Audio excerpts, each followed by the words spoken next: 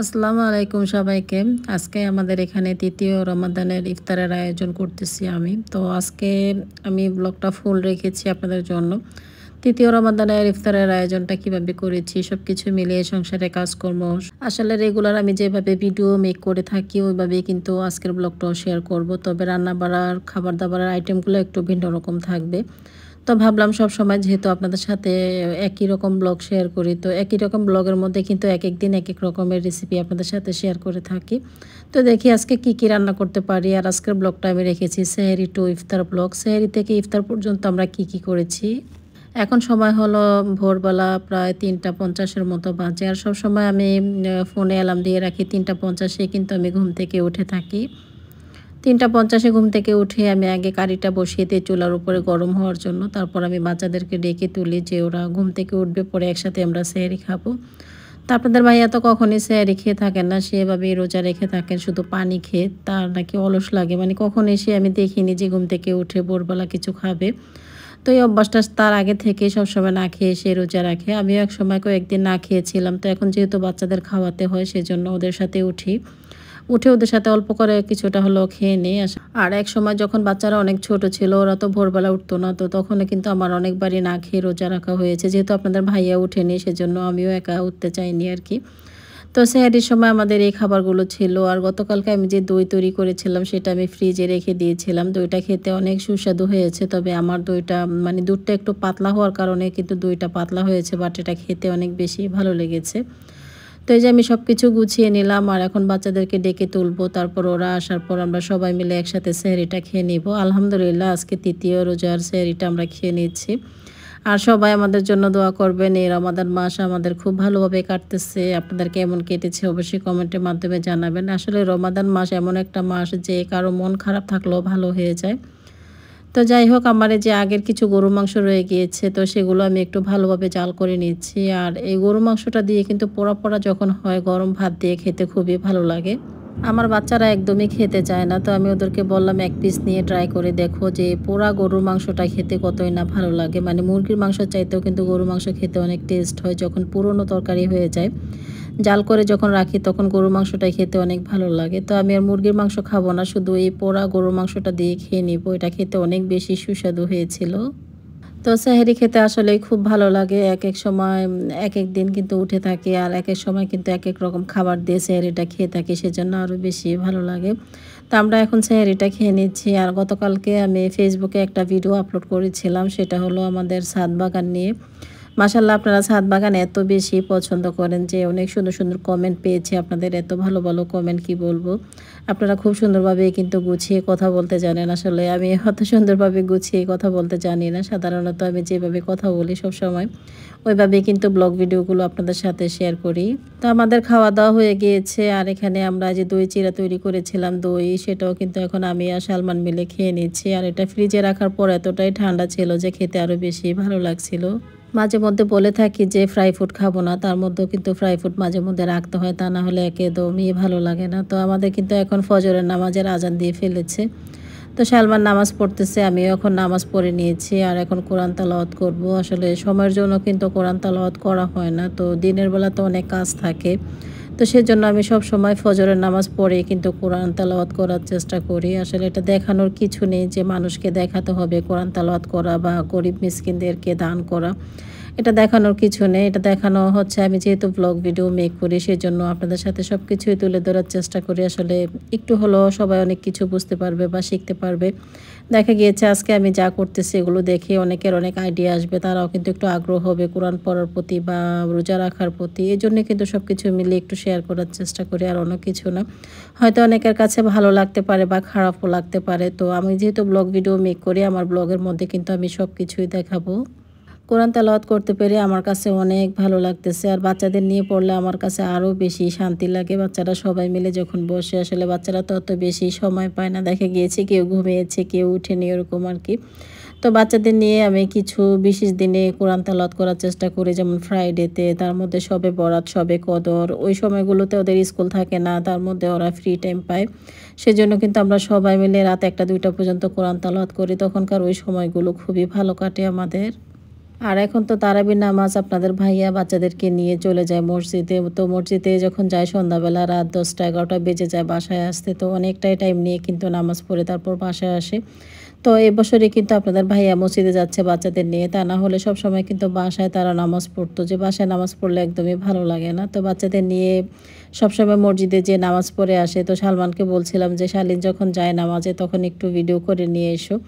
তো সে ভিডিও করে নিয়ে এসেছিল, তার মোবাইলে সেটা রয়ে গিয়েছে। তো সে তো এখন ঘুমোচ্ছে, সেজন্য ওর ফোন থেকে আমি আর ওই ক্লিকটা নিতে পারছি না। তো সকালবেলার ভিউটা আমার কাছে সব সময় ভালো লাগে। বেলকনিতে বসে থাকি, পাখির কিচিমিচি ডাক আর খুবই ঠান্ডা বাতাস আসতেছিল বেলকনি দিয়ে। তো যাই হোক, সকালবেলা যখন ঘুম থেকে উঠি আর তাছাড়া সেহেরি খাওয়ার পর আমি শুলেও আমার ঘুম আসে না। হয়তো শুয়ে থাকি কিন্তু উঠে যেতে হয় আর কাজকর্ম সব কিছু পড়ে থাকে। আর এই যে আমি সব কিছু এখন গুছিয়ে নিলাম। সন্ধ্যার পর ইফতারি খাওয়ার পর কিন্তু অনেক কিছু ময়লা হয়ে যায়, অনেক কিছু নোংরা হয়, সেগুলো কিন্তু ক্লিন করতে অনেকটাই টাইম লেগে যায়। তো সব কিছু গুছিয়ে কিন্তু এখন ক্লিন করে নিচ্ছি। আর হাঁড়ি পাতিলগুলো ধোয়ার পর সেগুলো শুকিয়ে গিয়েছে, ভাবলাম এগুলো একটু গুছিয়ে নিই, তারপর রান্না বাড়ার প্রিপারেশন নিব। তো এখানে কিছু গ্লাস প্লেট বাটি এগুলো কিন্তু ক্লিন করা হয়েছে। তো যেহেতু এখন রোজার মাস, রোজার মাসে কিন্তু প্লেট, বাটি, গ্লাস এগুলো প্রচুর ইউজ করা হয়। তো গ্লাস কিন্তু অনেক পরিমাণে প্রয়োজন হয়। দেখা গিয়েছে কিছু দিয়ে আমরা শরবত খেয়ে থাকি, কিছু দিয়ে পানি খেয়ে থাকি। তো সেজন্য গ্লাসগুলো কিন্তু বেশি হয়। তো গ্লাসগুলো এখন আমি একটু গুছিয়ে ডাইনিংয়ে রেখে দেবো। আর এখানে আরও অনেক হাঁড়ি পাতিল আছে। হাঁড়ি পাতিলগুলো যখন ভিজা থাকে তখন আমি কিচেনে রেখে দিই। আর যখন শুকিয়ে যায় তখন ওগুলো অনেক স্থানে কিন্তু রাখা হয়। এক এক স্থানে যে জায়গা আমি সবসময় রেখে থাকি। তো গ্লাসগুলো যেহেতু রেগুলার ইউজ করব, সেজন্য গ্লাস ক্লিন করার পর কিন্তু আমি ডাইনিংয়েই রেখে দিই। যেহেতু সন্ধ্যার পর আবার শরবত তৈরি করব বা এগুলোর মধ্যে পরিবেশন করা হবে। আমার কাছে সবচেয়ে প্রিয় জায়গা হলো ডাইনিং আর কিচেন ডাইনিং আর কিচেনটা আমি সব সময় অনেক সুন্দরভাবে সাজিয়ে গুছিয়ে একদম ক্লিন রাখার চেষ্টা করি। যখন ডাইনিং আর কিচেন ক্লিন থাকবে না, তখন আমার একদমই ঘুম হয় না যে কখন আমি এগুলো ক্লিন করব। রাতের বেলা যখন শুয়ে থাকি, তখন তো টেবিল একটু মাঝে মধ্যে ময়লা হয়ে থাকে বা ইফতার খাওয়ার পর কিন্তু অনেক হাঁড়ি পাতিল হয়ে থাকে, সেগুলো যদি না গুছিয়ে ঘুমাই তাহলে আমার একদমই ঘুম আসবে না। আর যারা আমার ডিটেলসে সব ভিডিওগুলো দেখতে চান, কীভাবে হাঁড়ি পাতিল ধোয়া, মোছা, ঘর ক্লিন করা সব কিছু মিলেও কিন্তু আমি অনেক ব্লগ মেক করেছি, সেগুলো আমি মালয়েশিয়া যখন ছিলাম তখন। তো আপনারা আমার পুরনো ভিডিওগুলো যখন দেখবেন, তখন হয়তো সেখানে যে অনেক কিছু দেখতে পাবেন। তো সেই সেম ভিডিওগুলো কিন্তু বারবার আমি করতে চাচ্ছি না, সেজন্য আর কি আপনাদেরকে বলে দিলাম, যারা দেখতে চান তারা দেখে নিতে পারেন। কারণ ইদানিং আমার চ্যানেলে অনেক নতুন নতুন আপুরা জয়েন হয়েছেন। ফেসবুকের মাধ্যমে কিন্তু অনেকেই নতুন জয়েন হয়েছেন, আলহামদুলিল্লাহ। তো তাদের খুব সুন্দর সুন্দর কমেন্ট পাচ্ছি। আমি এত সুন্দরভাবে গুছিয়ে আপনারা কমেন্ট লেখেন। আপনাদেরকে অনেক অনেক ধন্যবাদ জানাই। তা আমি এখানে কিছু খেসারির ডাল ভিজিয়ে নিয়েছিলাম। এটা আমি গতকালকের ভিডিওতে আপনাদের সাথে শেয়ার করতে পারিনি কারণ ব্লগটা অনেক বেশি বড় হয়ে গিয়েছিল সেজন্য আর ইদানিং রোজার ব্লগগুলো একটু বড়ই হয়ে যাচ্ছে। তো খেসারির ডালগুলো ভাবলাম আমাদের বাসা খেসারির ডাল তো কেউ খেতে পছন্দ করে না। আর মুসুর ডাল দিয়ে আমি সবসময় কিন্তু পেঁয়াজও তৈরি করি, যেহেতু খেসারির ডাল বেশ পরিমাণে রয়ে গিয়েছে। ভাবলাম এগুলো একটু ব্লেন্ড করে যেতটুকু পরিমাণ আমি ইউজ করব সেগুলো রেখে বাকিটুকু আমি ডিপ ফ্রিজে রেখে দেবো। তো এই যে আমার খেসারি ডালটা কিন্তু ব্লেন্ড করা হয়ে গিয়েছে। আর সব সময় আমি কিন্তু ডাল সম্পূর্ণ ব্লেন্ড করি না মানে কিছুটা ব্লেন্ড করে থাকি আর কিছুটা আস্ত রেখে দিই। তো আস্ত ডাল কিন্তু আমি এখানে হাফ পরিমাণে রেখে দিয়েছিলাম। আর ডালটার উপর এখন কিন্তু আমি যে ব্লেন্ড করে ডালটা নিয়েছি সেটা দিয়ে দিচ্ছি। এভাবে হয় কি, পেঁয়াজুটা অনেক মুচমুচে হয়, শক্ত হয়, খেতেও ভালো লাগে। সেই জন্য আস্ত ডালের সাথে কিন্তু মিক্স করে দিতে পারেন। মানে অল্প ডাল ব্লেন্ড করে নেবেন, তার মধ্যে কিন্তু এভাবে আস্ত ডালটাকে মিক্স করে নিলে অনেক ভালো লাগে পেঁয়াজুটা খেতে। তো আস্ত ডালটা এখন আমি একটু ভালোভাবে মিশিয়ে নিচ্ছি। মিশিয়ে তারপর আমি একটা বক্সে বরে ডিপ ফ্রিজে রেখে দেব। আর বাকিটুকু আমি আজকে কীভাবে রেসিপি তৈরি করি আপনাদের সাথে শেয়ার করব। আর এই রেসিপিটা আজকে তৈরি করতেছি আমি প্রায় তিন বছর পর। এটা আমার নিজের তৈরি রেসিপি আমি সবসময় কিন্তু এটা করে থাকি, আমার কাছে অনেক বেশি ভালো লাগে। তো মঞ্জুরার কাজ শেষ হয়ে গিয়েছে, সে এখন রেডি হয়ে চলে যাচ্ছে, অন্য বাসায় যাবে, তো আমাকে বলে যাচ্ছে যে আমি এখন চলে যাচ্ছি। তো মঞ্জুরার পোশাক আশাক আমার কাছে খুবই ভালো লাগে, ও খুব সুন্দরভাবে কিন্তু কাজে আসে, আবার সুন্দরভাবে চলে যায়। ওর হাজব্যান্ড নাকি বলেছে ওকে এভাবে সবসময় পদ্মা করে চলার জন্য এই জিনিসটা আমার কাছে সবচেয়ে বেশি ভালো লেগেছে। তো যে ডালগুলো আমি একটা বক্সের মধ্যে নিয়ে নিচ্ছি আর কিছু পরিমাণে আমি রেখে দেবো, সেটা দিয়ে আজকে একটা রেসিপি আপনাদের সাথে শেয়ার করব। তো আপনাদের ভাইয়া বিকেলবেলা গিয়েছিল সাদে সেখান থেকে আসার সময় একটা করলা নিয়ে এসেছে, সেটা বেশ বড়ই ছিল করলাটা। তো একটা করলা যেহেতু নিয়ে এসেছে, ভাবলাম এটা কি দিয়ে রান্না করা যায়। তো আজকে দেখি করলা দিয়ে একটা রেসিপি আপনাদের সাথে শেয়ার করব। আর এই যে ডালগুলা আমি কিছুটা পরিমাণে বুলের মধ্যে নিয়ে নিচ্ছি, যেটা দিয়ে আজকে রেসিপি করব। আর বাকিটুকু আমি এখন ফ্রিজে রেখে দিচ্ছি। আর এটা ফ্রিজে রাখার পর যখনই আপনারা পেঁয়াজও তৈরি করবেন, যখনই অন্য কিছু তৈরি করার ইচ্ছে করবে, তখনই কিন্তু এটা সকালবেলা নামিয়ে রাখবেন। বিকেল হতে হতেই দেখবেন ডালটা একদম নরম হয়ে গিয়েছে, তখন এটা দিয়ে কিন্তু আপনারা পেঁয়াজও তৈরি করে নিতে পারেন। আর বারো মাসে কিন্তু এভাবে ডাল ফ্রোজেন করে রাখা যায়। আর গতকালকে আমি কিছু আলুর চপ তৈরি করেছিলাম, সেটা আমি ভিডিওতে দেখাতে পারিনি যেটা শক্ত হয়েছে কিনা। তো যেহেতু ভিডিওগুলো বড় হয়ে যায়, সেজন্য ডিটেলসে কিন্তু সম্পূর্ণ দেখানো সম্ভব হয় না। তো এই যে আলুগুলো কিন্তু দুই ঘণ্টা ফ্রিজে রাখার পর এত শক্ত হয়ে গিয়েছে, তো ভাবলাম আপনাদের সাথে শেয়ার করি। এভাবে কিন্তু আপনারা আলুর চপ তৈরি করে ফ্রোজেন করে রেখে দিতে পারেন দুই মাসের মতো। দুই তিন মাসের মতো এগুলো ভালো থাকে আর কি। তো আমার তো দুই তিন মাস যাবে না, যতটুকু আমি তৈরি করেছি আবার দুই দিন যাবে আর কি। তো আমি এইভাবে জিপলক ব্যাগের মধ্যে নিয়ে তারপর রেখে দিব আর যখন যতটুকু প্রয়োজন ততটুকু নামিয়ে জাস্ট একটা বেসনের গুঁড়া তৈরি করে ফ্রাই করে নিব। আর এই যে আমি এখন ডিপ ফ্রিজে রেখে দিচ্ছি। এভাবে কিন্তু জিপলক ব্যাগের মধ্যে রেখে দিলে কিন্তু অনেক দিন ভালো থাকে আর অল্প অল্প করে কিন্তু অনেক কিছুই রাখা যায়। আসলে সাধারণত আমরা রমজান মাসে কিন্তু অনেক কাজ করে থাকি, আর তার মধ্যে কিন্তু আমরা রোজা রাখি, তো এতটা কিন্তু কষ্ট হয় না। আর এমনি যেহেতু সাধারণ ডেতে আমরা যখন রান্না বাড়া করি, সংসারে কাজকর্ম করি, আমরা কিন্তু অনেকটাই হাঁপিয়ে যাই। আমি এই জিনিসটা সব সময় লক্ষ্য করেছি, রোজার সময় কিন্তু অনেক কাজ করে থাকি, তো আমার কাছে অত বেশি টায়ার্ড লাগে না। আর রোজা রাখাটা আমার কাছে মনে হয় না যে কষ্টজনক। অনেকে বলে থাকে না, রোজা রেখেছি, আজকে খারাপ লেগেছে, কষ্ট লেগেছে। তো আলহামদুলিল্লাহ, আমার কাছে কখনোই কিন্তু রোজা খারাপ লাগে না। আমি যত বেশি রোজা রাখতে পারি, ততই আমার শরীরের জন্য ভালো হয়, আমার কাছেও ভালো লাগে। তো যাই হোক, আমি ডালটাকে রেখে দিয়েছি ফ্রিজে, আর ছাদ থেকে কিছু থানকুনি পাতা নিয়ে এসেছিলাম। সেটার মধ্যে এখন আমি থানকুনি পাতাগুলো ছোট ছোট করে কেটে দিয়ে দিয়েছে, তার মধ্যে পেঁয়াজ কাঁচামরিচ দিয়েছি, হলুদ, লবণ, মরিচ, জিরা, ধনিয়ার পাউডার, গরম মশলার পাউডার দিয়েছি। তার মধ্যে অল্প পরিমাণে আটা ইউজ করেছি আমি। আমি দেখেছি আটাটা ইউজ করার পর কিন্তু একটু মুচমুচে হয়, পেঁয়াজটা খেতেও ভালো লাগে। তো এখান থেকে আমি অল্প পরিমাণে পেঁয়াজও তৈরি করব আর আপনাদের ভাইয়া হাত থেকে করলা নিয়ে এসেছে। তো একটা গাছে একটা করলাই ছিল, তো ভাবলাম এটা দেখি তৈরি করা যায়? তো এই রেসিপিটা হয়তো আমার যে পুরনো আপুরা আছেন, তারা হয়তো জানেন। এটা আমি শেয়ার করেছিলাম তাও রমজান ব্লগে আজ থেকে দুই বছর আগে। তো ভাবলাম যে আজকে আমি কীভাবে এই রেসিপিটা তৈরি করি, আপনাদের সাথে শেয়ার করি। হয়তো নতুন যে আপুরা জয়েন হয়েছেন, তাদের উপকারে আসবে। প্রথমে করলাগুলো আমি চাক করে কেটে নিয়েছি আর করলার মাঝখানে যে বিচিগুলো ছিল সেগুলো আমি ফেলে দিয়েছি আর এখানে কিছু বেগুন কেটে নিচ্ছি। আমি এইভাবে গোল গোল করে, এটাও কিন্তু আমাদের স্বাদের বেগুন ছিল। তো বেগুন আর করলা আপনাদের ভাইয়া স্বাদ থেকে নিয়ে এসেছে। তো এবছর রোজার মধ্যে আমরা এখনও বেগুনি তৈরি করিনি, তো ভাবলাম আজকে বেগুনি তৈরি করি। তো বেগুনিটা আমি পানির মধ্যে একটু ভিজিয়ে রেখেছি, যেটা বেগুনটা কেটে নিয়েছিলাম আর কি, আমি বেগুনি তৈরি করব ওটা দিয়ে। আর অনলাইন থেকে আমি একটা ড্রেস অর্ডার করেছিলাম, আমার এক কাজিনকে আমি এটা গিফট করব মানে ঈদ উপলক্ষে। তো সেজন্য কিন্তু আমি ড্রেসটা অর্ডার করেছিলাম আর এইমাত্রই কিন্তু ড্রেসটা হাতে পেয়েছি। গতকালকে আমি অর্ডার করেছি, আজকে হাতে পেয়ে গিয়েছি, তো ভাবলাম একটু খুলে আপনাদের সাথে শেয়ার করি। আসলে আমরা ঈদ শপিং এখনও কেউ করিনি। আমি সব সময় কিন্তু আত্মীয় স্বজন সবাইকে দিয়ে তারপর ঈদ শপিং করি, তা না হলে আমার কাছে কেন যেন ভালো লাগে না। তো যাই হোক ড্রেসটা এখন রেখে দিচ্ছি। আর এখন সময় হলো দুইটা বাজে, তো দুইটায় কিন্তু আমার ইফতারের আয়োজনটা সব কিছু গুছিয়ে ফেলতে হবে। তার মধ্যে আসরের আজান দেবে। যখন আসরের আজান দেয়, তখন আমার হাতে অত বেশি কাজ থাকে না। শরবত, ফল ফ্রুটস কাটা, এগুলো নিয়ে একটু ব্যস্ত থাকি। আসর নামাজ পড়ার পর তার মধ্যে একটু তসবি পাঠ করতে হয়। তো এখানে আমি করলাগুলো কিন্তু একটু লবণ দিয়ে ভালোভাবে মাখিয়ে নিয়েছি। আর এখন আমি এই যে, যেই পেঁয়াজুর জন্য ব্যাটারটা তৈরি করেছিলাম, সেই ব্যাটার থেকে এভাবে কিন্তু করলার মধ্যে দিয়ে দিচ্ছি। অনেকে ভাবতে পারেন যে, আপু, এটা ফ্রাই করার পর কেমন লাগবে খায়, খেতে আর কি? তো এটা আপনারা গরম ভাতের সাথে ট্রাই করবেন বা সস দিয়ে খেতে ট্রাই করবেন, অনেক বেশি ভালো লাগে। আমার বাচ্চারা যেহেতু খেতে পেরেছে, আপনারাও খেতে পারবেন। অত বেশি তিতা লাগে না বাট এটা খেতে খুবই সুস্বাদু হয়। আর এই রেসিপিটা যারা ডায়াবেটিসের রুগী আছেন, তারাও কিন্তু খেতে পারেন। খুবই অল্প তেলে এটা ভেজে নেবেন। বেশি চুবো তেলে ভাজতে হবে না, এমনিতেই কিন্তু এটা অনেক ক্রাঞ্চি হয়ে যাবে আর খেতে অনেক বেশি ভালো লাগবে। তো এই যে আমি, এটাকে বলতে পারেন যে করলার পাকোড়া বা করলার রিং তৈরি করেছি। তো করলার পাকোড়াটাকে আমি এভাবে তেলের মধ্যে ভেজে নেব। সরিষার তেল দিয়ে ভেজে নিলে আরও বেশি ভালো হয়। তো যেহেতু আমার আগে ফ্রাই প্যানে অনেকটাই সয়াবিন তেল রয়ে গিয়েছে, সেটার মধ্যে এখন আমি এক এক করে এই করলার পাকোড়াগুলো ভেজে নিব। আর এই করলার পাকোড়াটা গরম গরম খেতে অনেক ভালো লাগে। আমি আরও অনেকবার তৈরি করেছি, এটা হয়তো আপনাদের সাথে শেয়ার করেছি। তো এক পিঠ যখন হয়ে গিয়েছে আর এক পিঠ আমি উল্টে দিচ্ছি, আর এটাকে অবশ্যই চুলাটাকে মিডিয়াম মাছ করে ভেজে নিতে হবে। করলাটা যখন সিদ্ধ হয়ে যাবে, তখন দেখতেই পাচ্ছেন করলার কালারটা কিন্তু অন্যরকম চলে আসে। তো এখন আমি বেসনের ব্যাটার তৈরি করব, সেজন্য এখানে নিয়ে নিচ্ছি বেসন, আজকে বেগুনি তৈরি করব। আর আজকের বেগুনিটা তৈরি করবে আমাদের মীরা।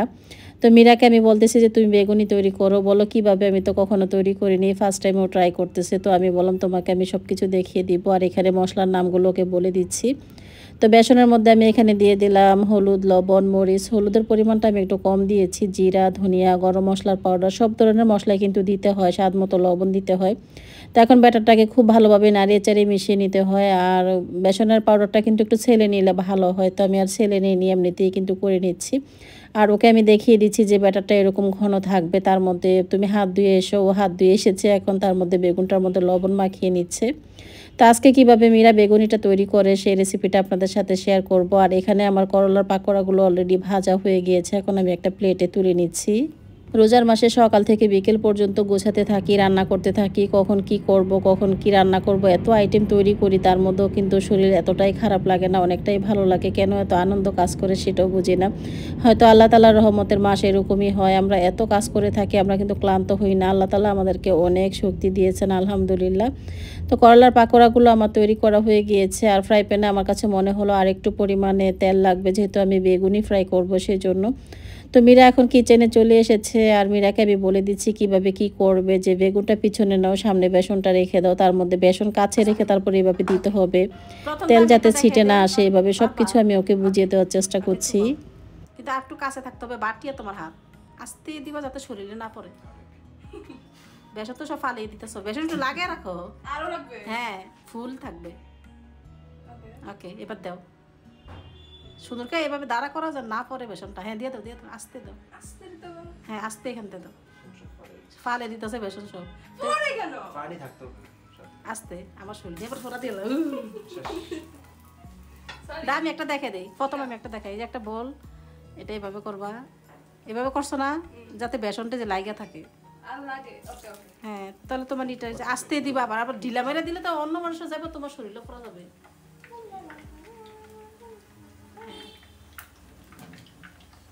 দরকার এটা তোমার জন্য একটু ঘুরাই দিয়ে দিই। থ্যাংক ইউ হ্যাঁ ঘুরিস না আইসা যেন হ্যাঁ এবার ধরো তো ওটা যে হইতেছে।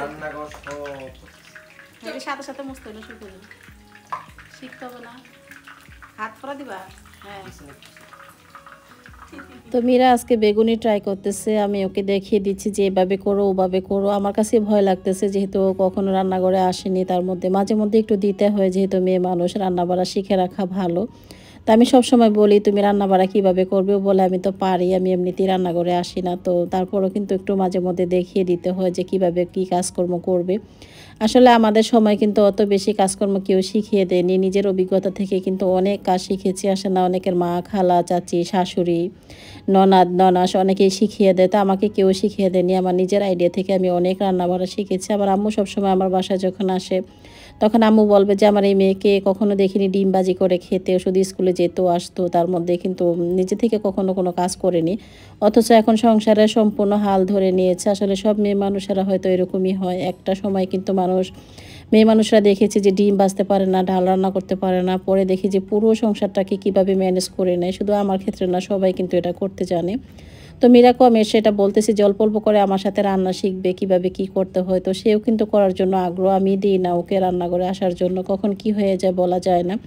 হয়তো জ্ঞানের সাথে সাথে সব কিছু হবে, বয়সের সাথে সাথে অনেক কিছুই শিখতে পারবে, সেজন্য ওকে আর আমি অত বেশি চাপ দিয়ে থাকি না যে এটা করো, সেটা করো। তো দেখিয়ে দিলে সব কিছুই করতে পারে, আর এই যে বেগুনিটা তৈরি করে নিচ্ছে, বলল আমি আজকে একটা রেসিপি শিখে গিয়েছি। তো এভাবে কিন্তু করে নিলে এক এক দিন এক একটা রান্নার আইডিয়া নিলে কিন্তু ও সব কিছুই করতে পারবে। তো অলরেডি বেগুনিগুলো ভাজা হয়ে গিয়েছে, অল্প অল্প করে সব কাজ গোছানো হয়ে গিয়েছে, তো এখন আমি দই শরবত তৈরি করব। দই শরবত বলতে এখানে দই দিব, পুদিনা পাতা দিব, তার মধ্যে পানি দিয়ে দিচ্ছি, আর ঠান্ডা পানি দিয়ে কিন্তু আমি শরবতটা তৈরি করছি, আর আমার কাছে দই শরবতটাই সবচেয়ে বেশি ভালো লাগে রোজার মাসে। তো এগুলো আমাদের ছাদের পুদিনা পাতা ছিল, অনেক পরিমাণে পুদিনা পাতা এনে আমি ফ্রিজে রেখে দিয়েছিলাম, তো সেখান থেকে আমি অল্প পরিমাণে পুদিনা পাতা অ্যাড করে দিচ্ছি। তার সাথে চিনি দিয়ে দিব। যেহেতু বাচ্চারা খাবে, ওরা চিনি না দিলে একদমই খাবে না। আমি চেয়েছিলাম চিনি অ্যাড করব না, আমি আর আপনাদের ভাই এমনিতেই খাব। তারপরও কিছু করার নেই, বাচ্চাদের জন্য তো চিনি দিতে হয়। সাথে আমি ওয়ান টেবিল স্পুন পরিমাণ ভিট লবণ অ্যাড করে দিয়েছি। আর এই যে আমার কিন্তু এখন দই শরবত তৈরি করা হয়ে গিয়েছে। আর সালমানকে বলতেছি, আমি তরমুজ কেটে নেওয়ার জন্য আর এদিকে আমি পেঁয়াজগুলো ভেজে নিচ্ছি। আসলে বাচ্চাদের হাতে আমি কোনো কাজকর্ম করতে দিই না, কারণ ওরা যখন কাজ করতে যাবে, একটা করতে গিয়ে আরেকটা বেশি করে ফেলে মানে অত কাজ শেষ করতে পারে না, গুছাতে পারে না আর কি তো সেজন্য আমার নিজের একার হাতেই কিন্তু সব কাজ আমি করে থাকি। আর আপনাদের ভাইয়া তো প্রতিদিন আসর নামাজ পড়েছে, সে কিন্তু সাদে চলে যায়। তো সব কাজ কিন্তু আমাকেই গুছিয়ে নিতে হয়। আর এই যে ডাইনিংটা আমি এখন গুছিয়ে নিলাম, তো আজকে কিন্তু আমরা ভাত দিয়ে ইফতার করব। তো সেজন্য ভাবলাম ভাতের প্লেটটা যদি একটু সুন্দরভাবে সাজিয়ে নিই, তাতে বাচ্চারা খেতে পছন্দ করবে। আর আমি কিন্তু যখন যেটা ওনা কাছে পাই, সেটাই কিন্তু পরে ফেলি। তো আমার হাতের কাছে যেটা ছিল, সেটাই আমি পরে ফেলছি। আসলে এত কাজ ছিল হাতে যে কোনটা গুছিয়ে কোনটা করব মানে মাঝে মধ্যে এরকম এলোমেলো হয়ে যায় আর কি। তো শরবতটা এখন আমি গ্লাসে দিয়ে দিচ্ছি, তার মধ্যে এক টুকরা করে আইস কিউব দিয়ে দিব। আর এভাবে কিন্তু এই শরবতটা খেতে অনেক বেশি ভালো লাগে। অনেক সময় দেখা যায় গরমের সিজনে বলি যে, এই শরবতটা তৈরি করে খাব। দেখা গিয়েছে রোজার সময় বেশি খাওয়া হয়, এমনিতে কিন্তু এটা তৈরি করা হয় না। আর পুদিনার ফ্লেভারটা সবচেয়ে বেশি ভালো লাগে। আর দই শরবতটা আমার কাছে সব সময় খেতে অনেক ভালো লাগে। সব সময় রোজার মধ্যে আমি এই শরবতটাই করে থাকি। তো এই যে আমার ইফতার টেবিলটা কিন্তু সাজানো হয়ে গিয়েছে সব কিছু নিয়ে গুছিয়ে এখন বসছি। আপনাদের ভাইয়া এখনও ছাদ থেকে আসেনি, আমরা সবাই খাবার নিয়ে বসে আছি। তো সিম্পলের মধ্যে কিন্তু আজকের ইফতারটা করে নিচ্ছি। আলহামদুলিল্লাহ, আল্লাহ তালা যা রিজিকে রাখে তাই কিন্তু খেয়ে সন্তুষ্ট থাকাই দরকার। তো ইফতার টেবিলে সব সময় আমরা কিন্তু সবাই একসাথে বসে এভাবে মোনাজাত করে তারপর ইফতার খেয়ে থাকি আর তার মধ্যে কিন্তু আজান দিয়ে ফেলেছে। আপনাদের ভাইয়া এখনও আসেনি, আপনাদের ভাইয়ার জন্য আমরা ওয়েট করতেছি। তো আপনাদের ভাইয়া অলরেডি এখন চলে এসেছে আর আমি এখন মোনাজাত ধরতেছি, আপনাদের ভাইয়ার জন্য ওয়েট করতেছিলাম। আর আজকে দই শরবতটা খেয়ে আমার কাছে মনে হলো অনেক ঠান্ডা হয়ে গিয়েছে শরীর। তো আপনাদের ভাইয়া বলতেছে, ভাত খাবে না, সে রুটি খাবে, রুটি আর চিকেন খাবে। আজকে আমি শক্ত মুরগি রান্না করছি, ভুনা করেছি। তার মধ্যে সে বলল, রুটি দিয়ে খেতে সবচেয়ে বেশি ভালো লাগবে। তো তার জন্য কিন্তু রুটি অর্ডার করা হয়েছে। আমি চেয়েছিলাম রুটি তৈরি করব আর হাতে একদমই সময় ছিল না। রুটি তৈরি করতে গেলে কিন্তু অনেকটাই টাইম লেগে যায়। তা আমি এখানে দই, চিরা, সাথে ফ্রুটস নিয়েছি আর এখানে খেজুর নিয়েছি। এটা আমি আর আপনাদের ভাইয়া শেয়ার করে খেয়ে নিব। আর এই যে করলার পাকোড়াটা তৈরি করেছি, সেটা এখন আমি ট্রাই করে নিচ্ছি। করলার পাকোড়াটা খেতে আমার কাছে ভালোই লেগেছে। সবাই খেয়েছে, শালিন খায়নি শুধু। সে বলতেছে, সবজি খাবে না। মানে সবজি তো সে খেতে পছন্দ করে না। তারপরে ওকে আমি একটু খাওয়ানোর চেষ্টা করব, সস দিয়ে যে খেয়ে দেখো কি। তো আপনাদের ভাইয়া সাত থেকে এসে একটু লেট হয়ে গিয়েছে, সেজন্য সে বলল যে আমি নামাজ পড়ে আসি। সে নামাজ পড়ে কিন্তু এখন এসে যে ইফতার করে নিচ্ছে, আর আমরাও কিন্তু এখন ইফতার করে সবাই নামাজে চলে যাব। আর সবাই মিলে যে রহমতের মাসটা কীভাবে যে চলে যাচ্ছে, সবাই মিলে অনেক এনজয় করে কিন্তু ইফতার খাই, সবাই মিলে এত বেশি ভালো লাগে। এমনিতে কিন্তু সবাই এক টেবিলে খাওয়া হয় না। সন্ধ্যার পর বা দুপুরে সব সময় কিন্তু আমরা একসাথে হতে পারি না। দেখা গিয়েছে বাচ্চা প্রাইভেটে গিয়েছে, দেখা গিয়েছে বাচ্চা স্কুলে গিয়েছে, আমরাও ব্যস্ত থাকি, আপনাদের ভাইয়া হয়তো বাহিরে গিয়েছে। আর এই রমাদান মাসে কিন্তু আমরা যে যেখানেই থাকি না কিন্তু সবাই কিন্তু একসাথে ইফতার করার চেষ্টা